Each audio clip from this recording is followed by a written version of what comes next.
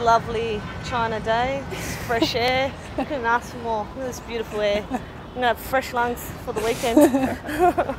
Um, it's an interesting place to come to. I hate China. I hate coming here. I'm sick of tired and constantly putting tournaments here. It makes me sad. It really makes me really, really sad.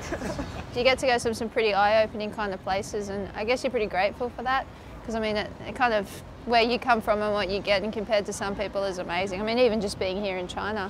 yeah, North Korea was a, definitely a big experience. Going to North Korea, just them having a, a pin of their leader walking around, I just thought that was weird. I imagine walking around with Jillian, Jillian Gillard. around.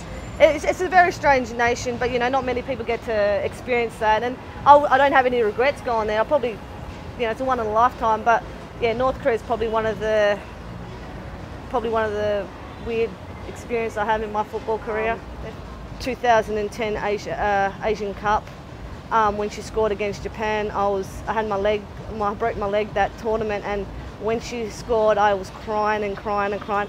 And then after after she um, after the game finished, I think I pretty much jumped on top of her, kissed her, and said, "You saved my life." And it was kind of sweet in a way because before the game, she wrote me a little letter saying, "I promise you, I'll take you to the World Cup." So she sort of, you know, walked the talk, I guess. Yeah, that kind of where I think time stands still for a little while. It's one of those ones you kind of watch it off your boot and you see it just going in and you're like, oh, it was a big relief actually. Yeah, I was just unfortunate enough to be in the right place at the right time. Oh, it's always very entertaining. I mean, we've had some we've had some funny times together, but we also we get sick of each other as well, and we don't mind telling each other. But it's just what it is. If you speak the truth and you can deal with it, then um, yeah, we get on well. So it's, it's good fun. Apparently, I don't function well when she's not around. I think a lot of havoc happens when she's not around. But yeah, she's definitely, you know, a good friend, and you know, having someone around her, you know, keeps me positive and you know level-minded. Like I can vent out to her, and she can calm me down a little bit. So she's been really supportive. But it's also good to have someone that understands you in a way. You know, football sense of things. You know, we're very passionate.